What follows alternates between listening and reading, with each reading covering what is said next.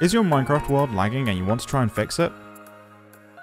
I'm Owen from Shockbyte and in this video I'll be showing you how to fix lag by reducing your view distance and your simulation distance in Minecraft.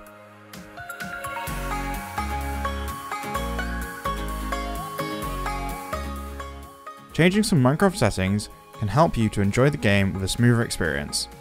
Reducing the view distance will reduce the amount of blocks the game is trying to render which can greatly improve your performance, especially on lower end systems. Reducing the simulation distance on top of this can greatly reduce the game's impact on your system as well. Simulation distance is the distance that the game simulates entities. Entities are things like mobs, item frames, and items sat on the ground.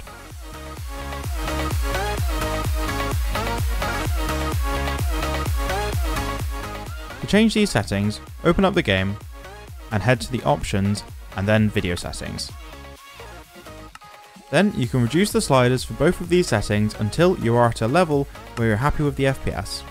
Ideally, at least 30 FPS for a smooth experience. Ideally as well, you'll be able to get a good balance between FPS and being able to see your world with a high enough render distance.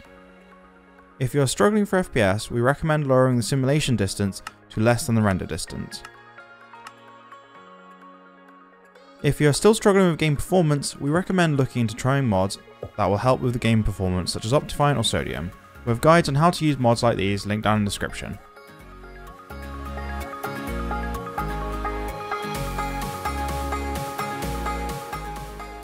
It is also possible to set view and simulation distance limits for your Minecraft server, so no matter what values a player chooses, it won't load anything further than the server settings allow. You can change the options for this in the server.properties file on your server. To do this, open your server's control panel. First, make sure your server is stopped. Then, navigate to the menu on the left. Select Files, Config Files.